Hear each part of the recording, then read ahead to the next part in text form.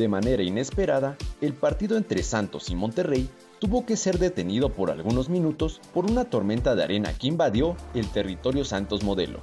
Durante el partido en el minuto 64, poco a poco se fue perdiendo la visibilidad en la cancha, por lo que el árbitro César Arturo Ramos tomó la decisión de parar por un momento el partido, mientras se esparcía la nube de tierra que complicó la visibilidad de jugadores y silbante.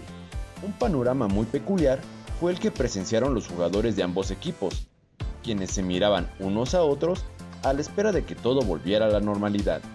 El árbitro dialogó con algunos de los futbolistas, aunque ambos equipos se mantuvieron firmes sobre el terreno de juego, a la espera de que volviera a rodar el balón, cosa que sucedió instantes después, sin problema alguno, con el marcador 1 a 0 a favor de Santos. Para más información, puedes ingresar a marcaclaro.com.